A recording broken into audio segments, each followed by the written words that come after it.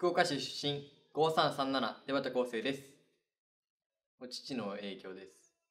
で父が小さい頃から頑張ってる姿を見てきたのでその父と同じ舞台にな立ってその父を超えたいと思ってボートレーサーを目指しました。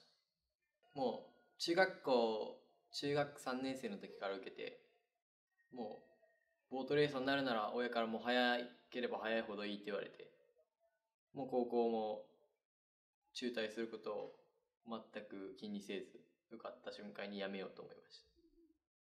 実はそんなこともなくてですね中学校の2年生くらいにこれから自分は何をしていくんだろうって考えた時に父ふと父の仕事に初めて向き合った時に自分はこれになろうって思いました。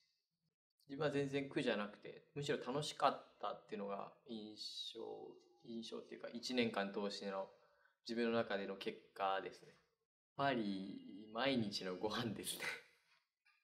美味しかったです。体重は学校の頃は、ま、ちょっと重いくらいでずっと訓練を受けてました。養成所の中でも1番か2番目くらいにでかかったですね。でもガッツと気合だけは負けないように頑張ります。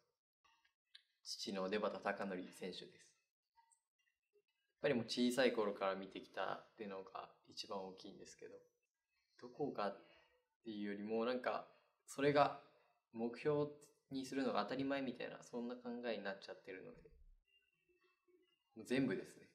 はい超えます。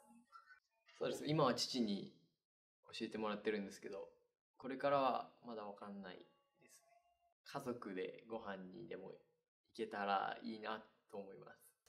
やっぱり道中で競り勝つスピードで競り勝つレーサーになりたいです。父の高則を超えて福岡支部のエースになります。